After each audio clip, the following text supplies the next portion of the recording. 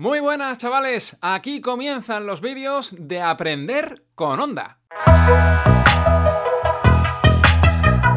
Bueno, ¿qué tal? ¿Cómo os habéis despertado hoy? Yo, yo bien, mm, me siento, me siento un poco especial, me siento un poco pirata. Así que he estado buscando por internet algo que me viniera bien a, a esa manera en la que me siento hoy. ¿Y sabéis lo que he encontrado?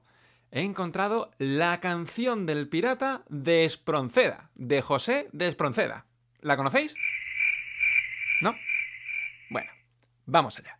La canción del pirata es un poema de José de Espronceda, que es uno de los principales escritores del romanticismo español. Espronceda nació hace más de 200 años. Y sí, habéis escuchado bien, Espronceda forma parte del romanticismo. No, es el romanticismo. El romanticismo fue una época en la que se rompió con la seriedad de la etapa anterior, la seriedad del neoclasicismo, un tiempo en el que, incluso en las artes, lo que predominaba era la razón. Por contra, los autores románticos defendían la, la, fantasía, la imaginación e incluso la irracionabilidad del espíritu. Toma ya. Así que, si un neoclásico se cruzase con, un romántico eh, por la calle, bueno, pues más o menos pasaría esto. Mira, un romanticista. Esta gente se le va la pinza. En España el romanticismo fue una etapa bastante más breve que en otros países europeos. Aquí se produce en la segunda mitad del siglo XIX. De eso hace unos 120-170 años. Bueno, voy a dejar de daros la brasa y voy a hacer un poquito el payaso. O sea, no, el, pirata. Esta es la canción del pirata de José de Espronceda. Con diez cañones por banda, viento en popa, a toda vela, no corta el mar sino vuela, mi velero bergantín. Bajé el pirata que llaman por su bravura el temido, en todo mar conocido, del uno al otro confín. La luna en el mar riela, en la lona gime el viento y alza en blando movimiento olas de plata y azul. Y ve al capitán pirata cantando alegre en la popa, hacia un lado, al otro Europa, y allá su frente Estambul. Navega, velero mío, sin temor, que ni enemigo navío, ni tormenta, ni bonanza tu rumbo a torcer alcanza, ni a sujetar tu valor. Veinte presas hemos hecho a despecho del inglés y han rendido sus pendones cien naciones a mis pies. Que es mi barco, mi tesoro, que es mi Dios, la libertad, mi ley, la fuerza y el viento, mi única patria, la mar. Allá muevan feroz guerra, ciegos reyes, por un palmo de tierra, que yo tengo aquí por mío cuanto abarca el mar bravío, a quien nadie impuso leyes.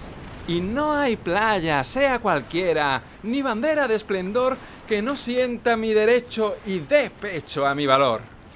Que es mi barco, mi tesoro, que es mi Dios, la libertad, mi ley, la fuerza y el viento, mi única patria, la mar.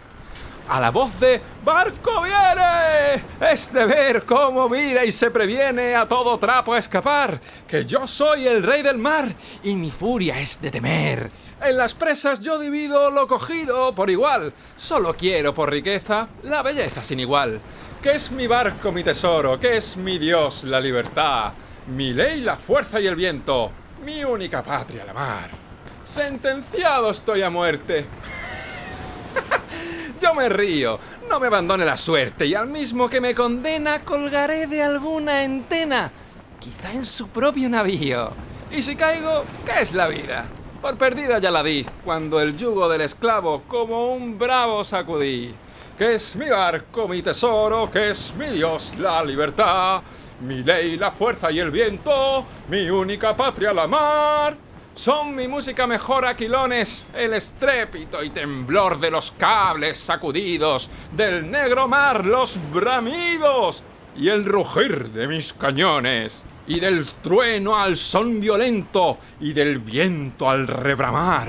Yo me duermo sosegado, arrullado por el mar. Que es mi barco, mi tesoro, que es mi Dios la libertad, mi ley la fuerza y el viento, mi única patria la mar. Bueno, ¿qué tal? ¿Qué os ha parecido este poema?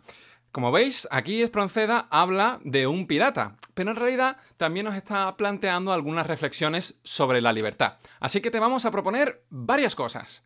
Primero, ¿cuál es la estrofa de este poema en la que piensas que queda más clara esa idea de libertad?